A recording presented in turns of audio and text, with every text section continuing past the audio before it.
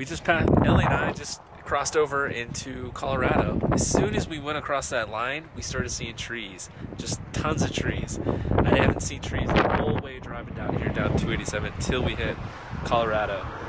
Passed into Colorado. Man, when you're driving down there, it's like it turns into trees all of a sudden. I think I said that already. But uh, for the first time, we have internet again. So 4G LTE. Apparently, Wyoming does not like T-Mobile.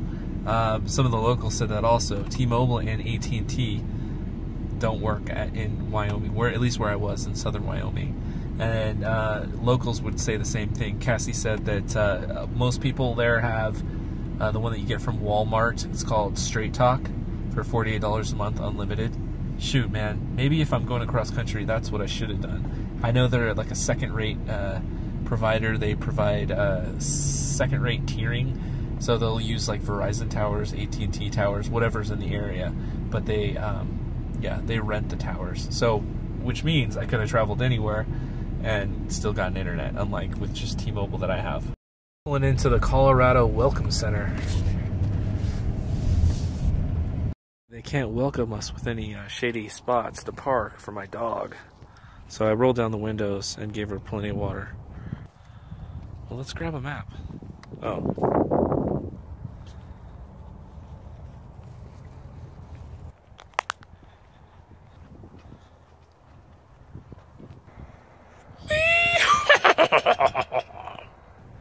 Damn, it is seriously hot here. Poor Ellie, I don't want to keep her in that van too long. Turns out this is mostly just uh, half of it is a gift shop, and then the other half is just uh, flyers for paid adventures and stuff. It's kind of a sales pitch. Ellie girl, waiting patiently for me. Oh, you're such a good girl, Ellie. Into Boulder, Colorado. Uh, the drive down into Boulder was breathtaking because you're coming from an incline and you're driving down into the city. Um, just arrived here. I programmed 24 hour fitness into my GPS because I need a shower desperately.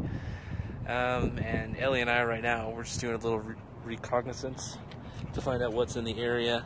I'm taking her on the scooter here. We've just been trolling around the parking lot, doing a loop around, um, giving her exercise and giving me an idea of what's around in the neighborhood.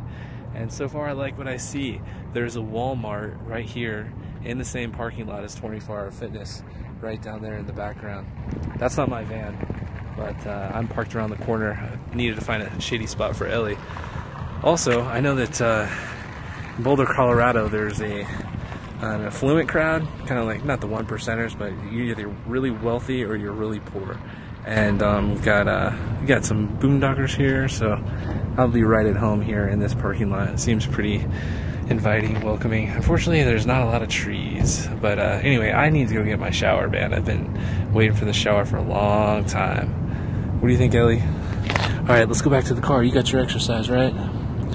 Being a good girl guys, I just had my first shower uh, on the trip, and oh my god, I feel like I've been rebirthed, but without the uh, the placenta. You know, that's nasty, but I feel so clean right now. Oh my god, uh, there's only so much baby wipes and and towels in the bathroom. You know, doing like a horror's bath. You know, where you do your armpits and everything. There's only so far that goes. Once it starts hitting like 81 degrees, man, you just need to do a full full shower. Like it was so refreshing like I couldn't reach my back, so my back felt really oily and greasy. So I mean, only a shower can can fix that for you. And it was high pressure shower, endless hot water. I just I felt like like there's no end in sight, man. I'm just I was like 20 minute shower, you know. The soap that they provide is really like low quality. It really like frizzed my hair out, and so I gotta wear this uh, beanie for a while. I even made use of my double-edged old-timey razor, you know. Um, and someone commented on it, it's like, "What is that? Your dad's razor?" And uh, I thought that was kind of funny. But hey, I think those double-edged razors are making a comeback. I should make a video of me shaving just so you can see what I'm talking about. Oh, and another thing I noticed, like, uh, there's no water restrictions in Colorado. What I mean is like those low-flowing taps in the bathroom where you have to motion sensor, put your hand under it, and it keeps turning off on you, and you get frustrated you hold your finger over just to keep it on. None of that. I haven't didn't see any of that in Wyoming or uh, Colorado so far. It's just like full blast, hot, hot water coming out. I love it.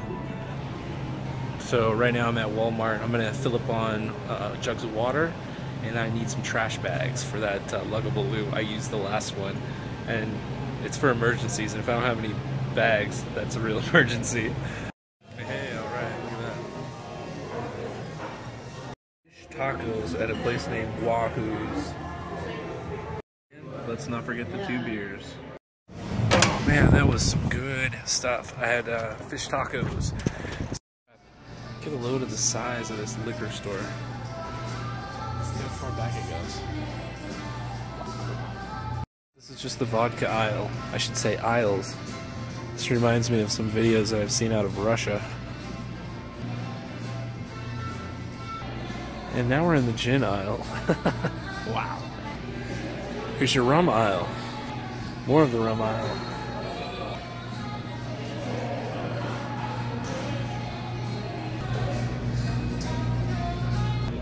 Jesus, I can't get it. Wow, this is amazing.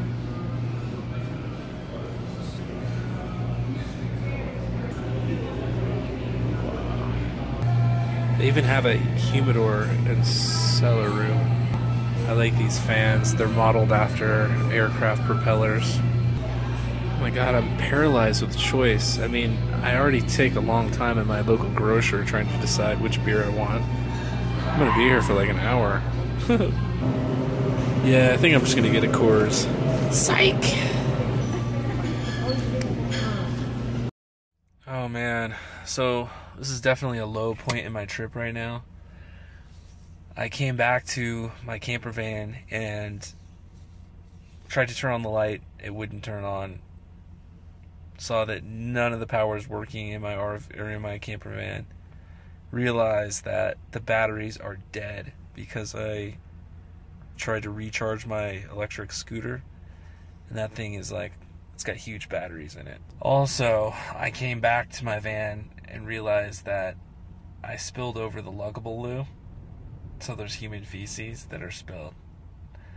Uh, yeah, this is like, man, I was on cloud nine. I had just gone out, I had the fish tacos, and went to a place where they had all these beers. I, so I bought uh, 12, 12 beers. I was gonna come back to my place and just stealth camp in the parking lot, and then this happens. Feces problem. Oh my god, that was my first time using it too, and this is not a good experience. This is a bad first time experience.